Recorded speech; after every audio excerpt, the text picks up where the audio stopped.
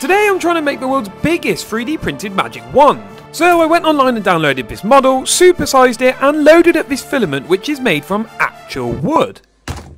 Once it was finished I realised just how big it was and that I wanted to colour this jewel in the middle. So I added some masking fluid, primed it, added some gold, used a sharpie for the middle, removed the masking fluid and there you have it.